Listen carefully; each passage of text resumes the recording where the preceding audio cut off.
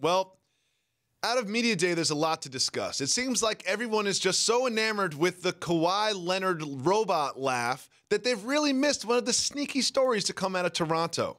There is a report that Kyle Lowry, franchise cornerstone Kyle Lowry, has not respond to calls or texts from the new head coach, nurse, and GM Masai Ujiri all summer long. Ujiri. I said it wrong. I always say it wrong. Anyway, That's all right. At least you got Nick Nurse. Yeah, I got Nick Nurse in there. Ryen, where does that tell you about where Kyle Lowry's head is at? That he's been ghosting two of the most important people in the franchise all summer long. Okay, like a lot of stories, you look at this and you go, okay, I can understand Lowry. He's upset. DeRozan was his dude. We kind of loved their comedy duo routine in the last couple years, and now he's out of there. But you just added a better player in Kawhi. And if you're Lowry and you're upset, let's not forget you're making 30 mil over the next couple years. And it's not always about the money making everything easier but he has an almost untradeable contract at this point. And the biggest reason that toronto shook this thing up is because you and your buddy DeRozan couldn't get it done in the playoffs for multiple years. This isn't some small sample size. You and DeRozan have been rather underwhelming your entire playoff career in toronto and that's being nice about it. So yes you can be upset but what did you expect the franchise to do? They had to change some things, and instead of you being traded, it was your teammate. It's interesting because it's it, you're making perfect sense when you say that, but you got to remember that everyone's a hero in their own movie. Of course. So like when Kyle Lowry looks in the mirror, he's not like, "Oh, you know what? Me and DeRozan couldn't really get it done. I'm so glad they brought in a better player and shook this thing up." He's saying, "Me and DeRozan were the duo that were going to bring this city a championship. I can't believe you traded away my best friend, and now you've brought in this robot basketball man that got it, they like forced his way out of San Antonio. But at the same time, you're not contractually obligated."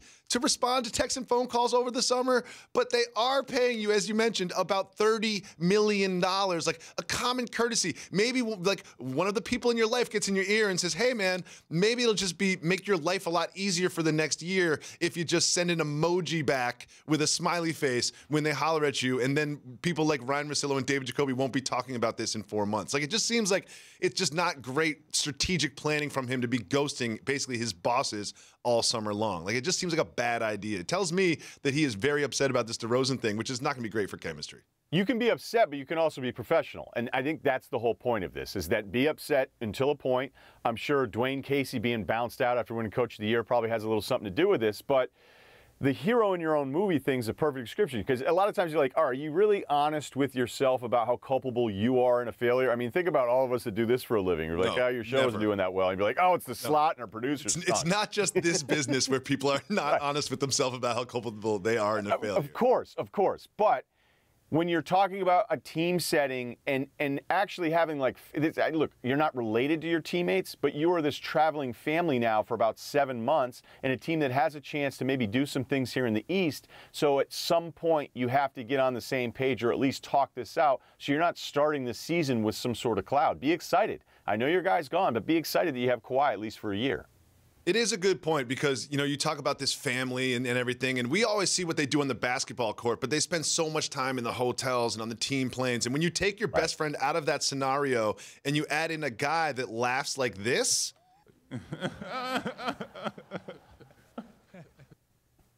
it does seem like it's just going to be awkward. Like it's just going to be awkward during Or- all those off-court moments.